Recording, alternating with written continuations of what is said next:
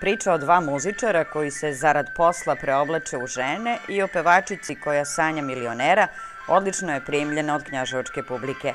Američki filmski institut je Neki to vole vruće proglasio najboljom komedijom svih vremena, a mladi ansambl Beogradskog studija BIS je na osnovu originala Petera Stona ipak napravio svoju i veoma uspešnu verziju velikog hollywoodskog hita. Predstavu igramo godinu dana i zaista je bilo pravo zadovoljstvo raditi sa ovim ljudima.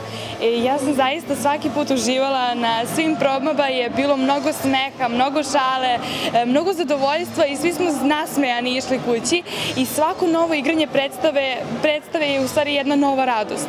E, što se tiče samog lika, nisam se trudila da kopiram Marilyn Monroe.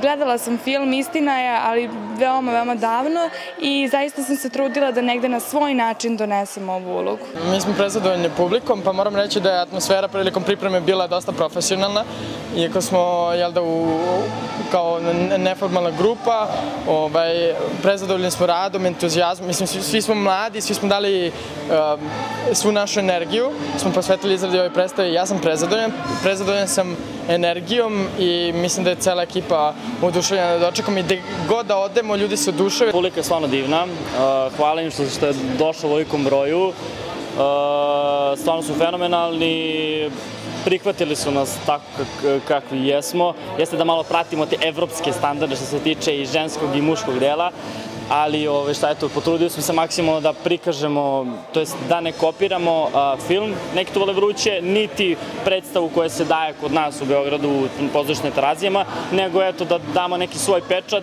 Adaptaciju teksta i režiju komada Neki to vole vruće uradio je Zoran Rakić, a predstava je višestruko nagrađivana na takmičenjima amaterskih pozorišta u našoj zemlji.